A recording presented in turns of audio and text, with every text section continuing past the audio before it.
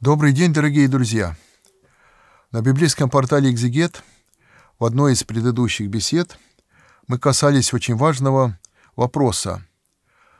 Можно ли на божественную литургию подавать имена на записочке людей, которые ведут совершенно не христианский образ жизни? После той беседы, которая, ну, по понятным причинам, она так или иначе многих интересует, и э, есть разные точки зрения на эту тему, и много было вопросов, которые хотелось бы, так сказать, э, суммировать и по возможности с Божьей помощью предложить некоторые вам размышления на эту тему. Суть вопросов какая? А почему мы не можем молиться за всех? Ведь Бог всех любит, и Господь сам знает, кто есть кто. Ведь наша задача, нас, вот христиан православных, за всех молиться. Почему мы должны, допустим, выбирать или кому-то в молитве отказывать? Ну, так или иначе, вот э, в таком ключе направление мысли людей. И, собственно, благодарю всех, дорогие друзья, кто таким вопросом задается. И э, хочется предложить вашему вниманию некоторые размышления на эту тему. Соглашаться или не соглашаться – это личное дело каждого, дорогие друзья. Вы помните, что в Священном Писании, вот мы сколько читаем, Святое Евангелие, Господь наш Иисус Христос многократно, приводя слушателям, да, народу, святым апостолам притчи о Царстве Божьем, он всегда говорил, например, «Царствие Божие подобно», допустим, десяти девам, или «Царствие Божие подобно э, там, человеку, ищущему, купцу, ищущему доброго бисера», или там э, «Царствие Божие подобно», допустим, неводу закинутому, который, э, сказать, этот невод берет э, все, так сказать, содержимое в воде, а затем уже в лодку, и затем отделяет одно от другого, хорошее в сосуды, а плохое... И вот многократно Господь приводил в притчах примеры из окружающей обычной жизни. Давайте мы с вами попытаемся на примерах нашей обычной земной жизни Э, посмотреть аналогии того, как надо молиться, за кого молиться и за кого вообще, э, какой должна быть молитва. Вот э, представьте себе, да, что вы все работаете на каком-то одном, в одной большой организации, и вдруг вы узнаете, что руководитель организации кого-то из ваших сотрудников увольняет. А вы того человека, в общем-то, не особо хорошо знаете, просто знаете, что он ваш сотрудник, ну, так или иначе, там, с уважением к нему относитесь, так, привет, пока, особо близких отношений нет, и вам э, хочется по своей инициативе пойти походатайствовать за того человека. Вы приходите к начальнику, ну, представляете, здороваетесь и говорите, вот я, я такой-то, такой-то, хочу походатайствовать там, например, ну, за господина Иванова. Прошу вас, не увольняйте его, там, дайте ему шанс и так далее. Начальник смотрит на вас и говорит, слушай, а ты вообще знаешь того человека, за которого ходатайствуешь? Он на самом деле всю нашу организацию поносит последними словами. И меня он по-всячески оскорбляет. Ему здесь ничего не интересно. И вот, и вот и он вам показывает, вот, собственно, вот его заявление. Он нашел себе другую работу. Ему здесь не интересно. Он сам хочет из нашей организации уйти. Ты за него ходатайствуешь, но ты хоть знаешь? Ты хоть поинтересуйся. Он сам здесь не хочет быть. И согласитесь, вы почувствуете себя немножко в неловкой ситуации. Рассмотрим второй вариант. Примерно такой же.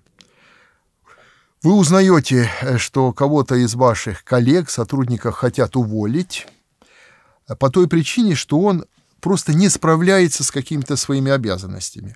А вы симпатизируете с тем человеком, ну, например, ваш близкий друг или знакомый, и вы ничего не говоря, может быть, тому человеку, приходите к начальнику и говорите следующие слова.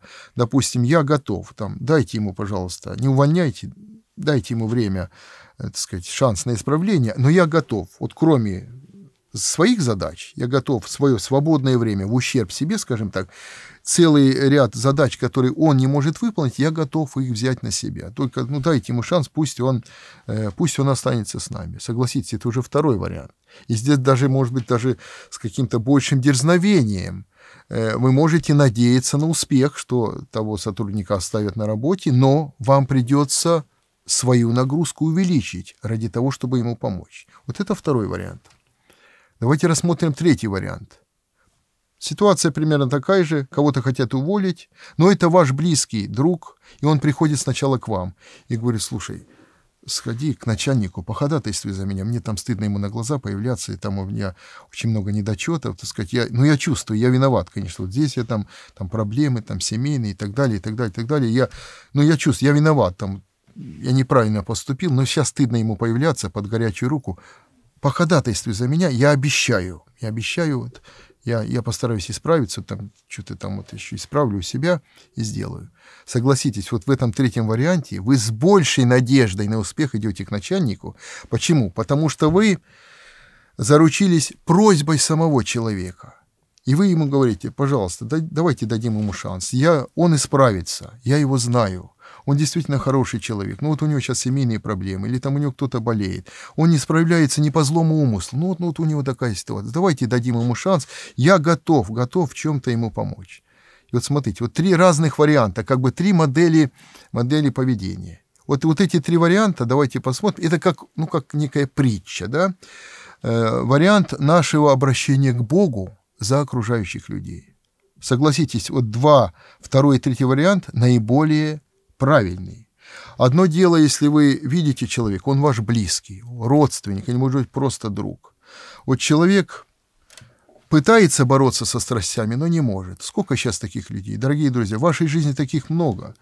Можно встретить примеры, когда человек, например, он борется со страстью пьянства, но ничего не может с собой поделать. Он и плачет, и сокрушается, и много раз просит прощения, но эта страсть сильнее его он хочет, и он там, допустим, муж жене говорит, то там, помолись, ничего не могу с собой делать, обещаю, больше пить не буду. Через некоторое время он опять скатывается, но он просит, слушай, дорогая, сходи в храм, помолись, или там, там давай поедем вместе с тобой в монастырь, или какой-нибудь святыни, давай помолимся. Он просит сам помощи.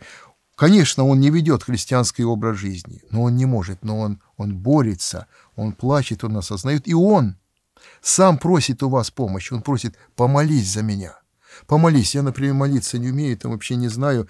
И там вот хочу поисповедаться, не знаю как. Там научи меня, как исповедаться. Согласитесь, что в этой ситуации вы с большим дерзновением обращаетесь к Творцу всяческих, к Господу, который не хочет смерти грешника. И вы просите, Господи, прости этого человека, помоги ему. Вот он, он борется со страстями, но не может. Господи, прости его с большим дерзновением. И, конечно, Господь вашу молитву услышит. И действительно вы поступите по-евангельски, вы душу свою будете полагать за ближнего. Теперь давайте посмотрим второй вариант.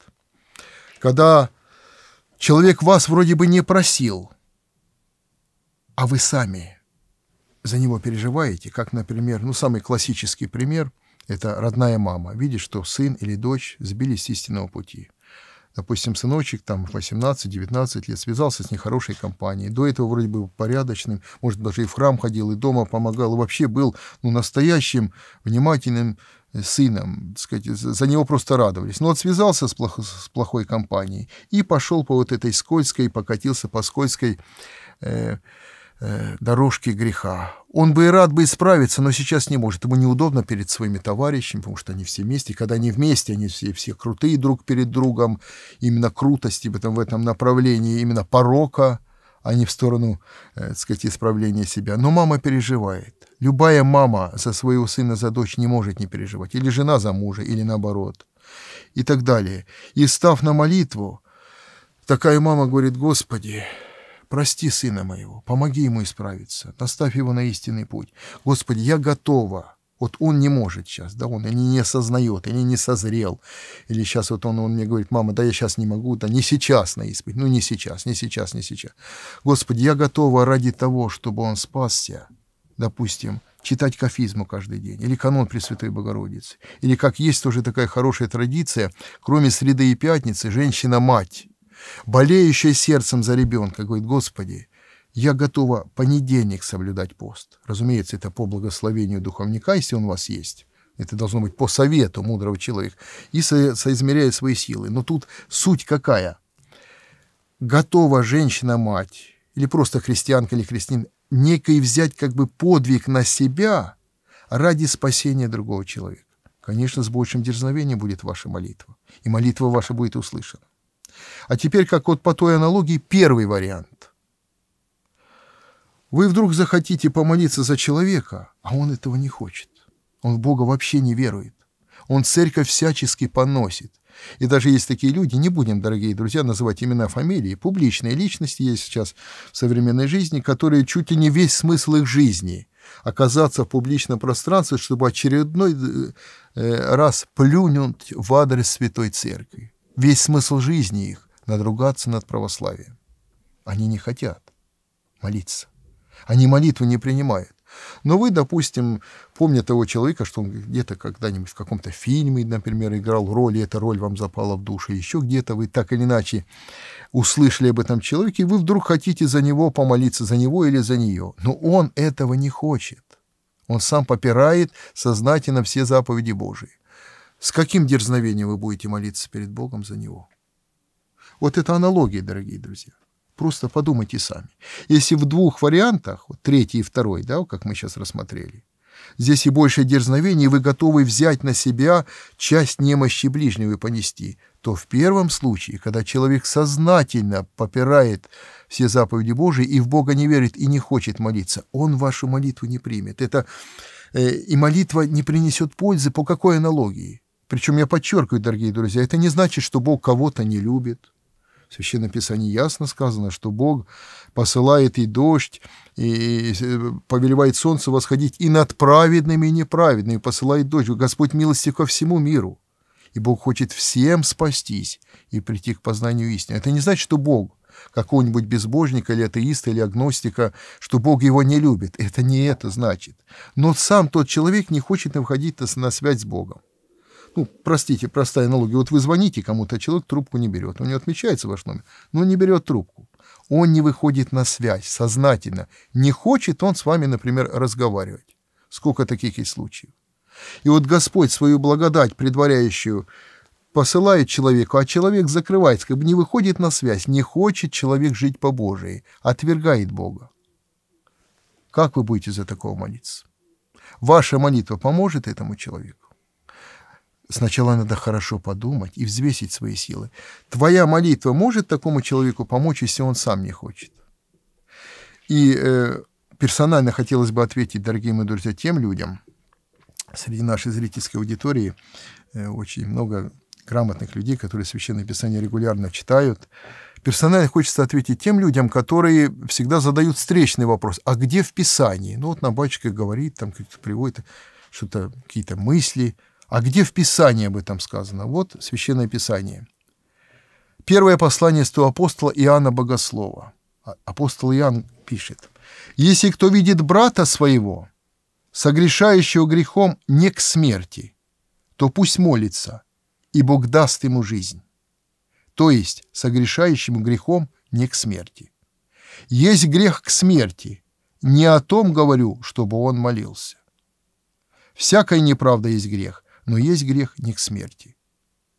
Обратите внимание, это говорит не то, что там какой-то там священник, который там свою точку зрения, свою богословскую. Это говорит, я вам цитирую Священное Писание. Первое послание апостола Иоанна Богослова, пятая глава, 16-17 стихи. Любой из вас может открыть. Задумайтесь, прочитайте еще раз это место. Апостол Иоанн, возлюбленный ученик Христов, который от своего учителя не отрекся, даже до Голговского креста был с ним рядом – о своей жизни совершенно не думал.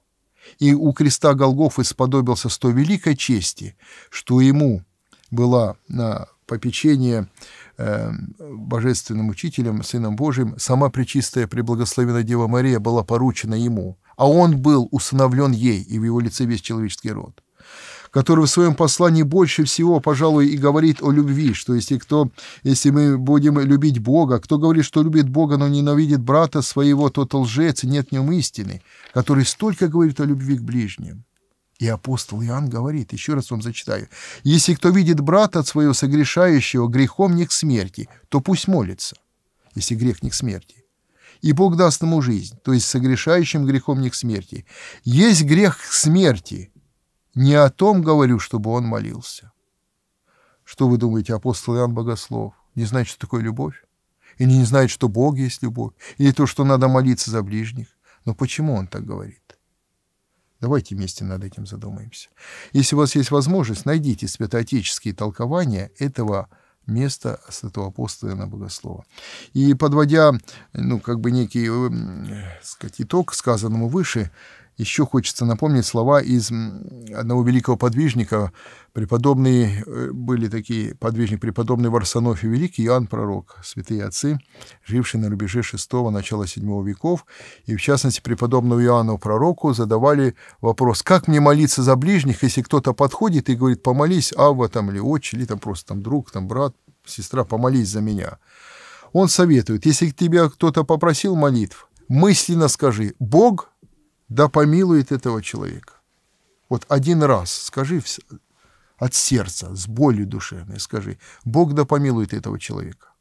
И далее э, пишет, э, советует преподобный Иоанн, а говорит, а но молиться постоянно за него – это удел совершенных, которые умеют душу полагать за ближних. Вот это практический совет нам. Попросил вас кто-то помолиться. Помолитесь, мысленно скажите, Бог да помилует этого человека. Но не формально, а именно с душевной болью, прям сопереживая. Скажите это один раз, и Бог услышит вашу молитву. Вот примерно такие вот размышления хочется предложить вашему вниманию.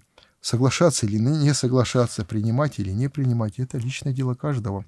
Будьте здравы и Богом хранимы. Внеси свой вклад, оцени, подпишись и поделись этим видео.